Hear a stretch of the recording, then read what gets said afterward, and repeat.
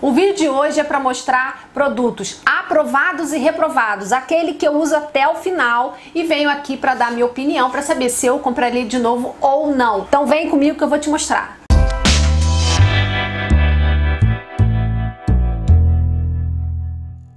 Olá, eu sou a Silvia Gonçalves do blog Mulher Mais de 40. E mais uma vez voltei para mostrar para você aquele vídeo que a gente usa o produto até o final e será que foi bom? Será que não foi bom? Será que prestou? Será que não prestou? Será que eu compro de novo? Será que eu não compro? E tem vários produtinhos aqui e eu vou começar por esse sabonete aqui. Olha, esse aqui é da Palmolive, é o açaí. A proposta desse sabonete é ser esfoliante. No meu ponto de vista, esse sabonete não é esfoliante. Ele tem a sementinha, mas que para mim não funciona como uma esfoliação. Eu acho que esse é um sabonete comum, como outro qualquer, que dá aquela leve hum, esfoliação no corpo, mas é muito leve, muito de longe. Eu compraria esse sabonete de novo? Compraria pela função dele, super cheiroso, faz bastante espuma, ideal para quem usa bucha.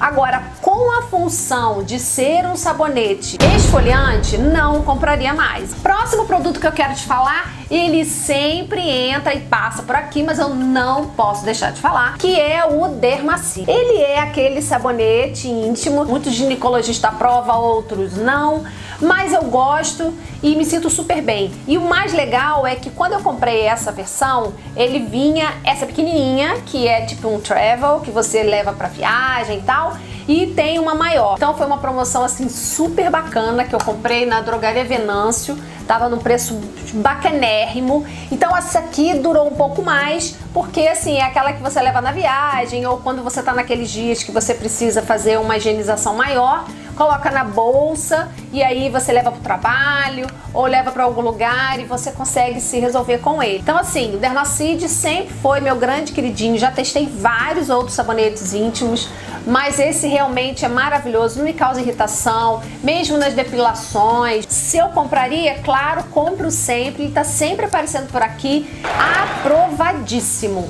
Agora a gente vai falar de cabelo, um produto que eu gostei muito e eu já tô assim, acredito eu, que no terceiro frasco é essa linha aqui da Ox que é o Plants, ele é, essa aqui é a linha hidratação. Então assim, o shampoo é algo que sempre acaba muito rápido, porque eu às vezes faço duas lavagens. Esse aqui, o cabelo fica perfeito, só o shampoo que dirá o condicionador. Eu consigo passar o dedo entre os fios e perceber que o fio está limpo, lavado, mas também tá hidratado, tá? Super aprovado. Bom, de make, dois produtos acabaram, tá?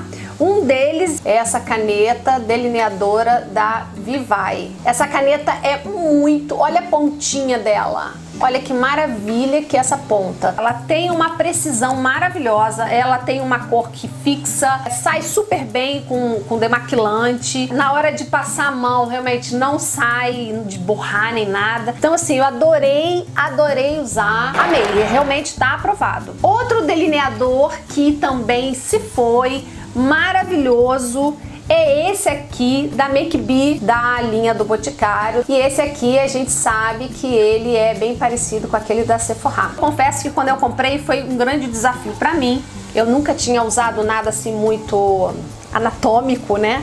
Muito cheio de curvas e tal. Então eu falei, bom, a pegada é boa, né? Você tira aqui, ó, tem uma ponteira que é uma coisa de louco, né? Para você chegar àquele, aquele delineado perfeito, aquela pontinha. Então, assim, eu gostei muito desse produto, ele tá super aprovado. Bom, e aí eu vou falar de dois produtos para unhas, tá? Primeiro que eu vou te falar é essa, essa base aqui, olha. Essa é a marca que eu tô falando, Chili's Pink Revolution. Então eu achei que essa base teve um bom resultado, minha unha ficou forte, minha unha não quebrava com facilidade, é, a escamação diminuiu bastante, então assim, valeu super a pena. Infelizmente, não encontrei ela em lugar nenhum. Mas se alguém viu em algum lugar aí e quiser testar, eu recomendo. Se eu encontrar, eu vou comprar ela novamente porque realmente gostei muito. Um produto que eu usei e fiquei bastante assim decepcionada foi esse aqui da Risqué, que é o extra brilho e que ele também tem a, a função de secar em 30 segundos, tá? Eu sempre usei aquele roxinho extra brilho famosésimo da Avon, mas chegou uma hora que eu achei que estava na hora de testar outro produto. E aí eu fui em busca desse risqué que eu já tinha visto algumas pessoas comentando, falando que seria muito bom e tal e tal. Eu usei dois terços né? Um belo dia, quando eu fui passar o extra brilho nos, em cima do esmalte, ele deixou a parte fosca. E aí manchou todo o esmalte, não teve como eu aproveitar. O que ocorre é que ele não deu certo. E aí a gente fica com o pé atrás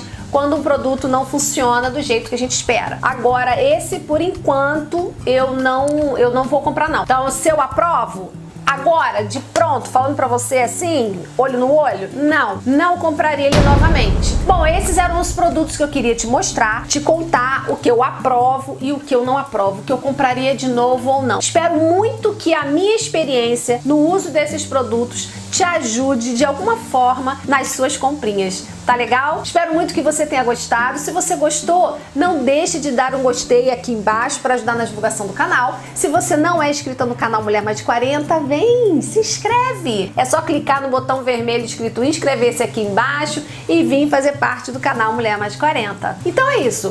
Um grande beijo para você e até a próxima. Tchau, tchau.